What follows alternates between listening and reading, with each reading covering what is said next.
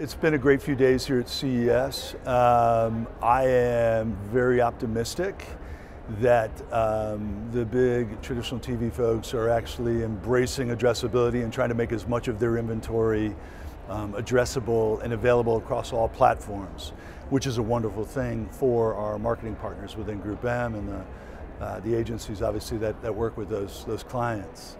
So being able to buy that inventory uh, as an audience first, with an audience first plan, and then follow those folks and, and hit them with something that's compelling and engaging on any screen across any of the content the you know, premium content that they, uh, they produce is, is good news.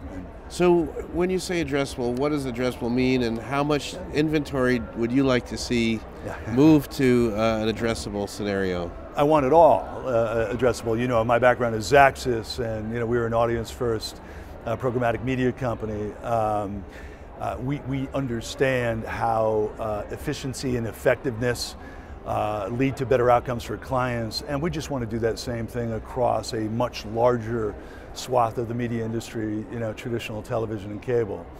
Um, and so fundamentally it's, you know, these big companies have so much data. And the idea that we can uh, work with these companies and their graphs, uh, what they know about the people that come to their websites and to their shows and to their streaming services potentially, and then uh, match our client first party data, some of the data we have within Group M, and find really high fidelity so we can engage those audiences across, again, all screens, across this great premium content, hopefully with a lighter ad load, and have not just efficient media buying, but efficient and effective media buying.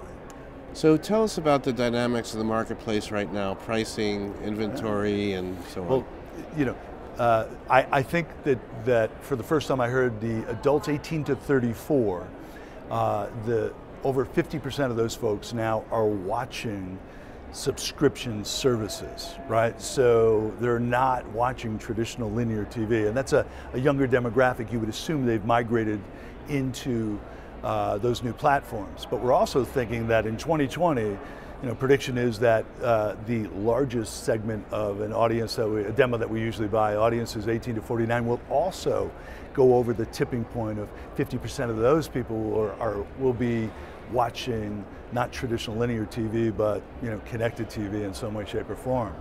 That's a big change for the industry. So our hope and the hope of our clients is that that'll open up the ability to move off of some of the traditional buying metrics, buying metrics that have been in place for 30 or 40 years and that were incredibly effective and, and, and efficient from a, a delivery standpoint. But you know, audiences 18 to 49 as a demo are not as compelling as identifying an audience that we know a ton about, that the media company knows a ton about, and can help us more effectively target a personalized message, right time, right place, with you know, a great content and engaging content message. So what would you um, tell these media companies, what should they be doing? Hurry up. Uh, you know, and look, th this isn't just something that they can do on their own. There's obviously measurement is hugely important, currencies and, and how we sort of pay um, for uh, you know media. Uh, those things need to change. Um, we've got to get our clients to sort of understand how you, you know, can change a target from adults 18 to 49 to build out audiences and gain some of the insights from how those audiences engage with their message in ways in which it helps their business. It becomes this virtual cycle of giving them more information and optimizations and insights to help them be smarter about how they engage with customers. Hard to do when you just buy a day part and demo on a traditional TV or cable network.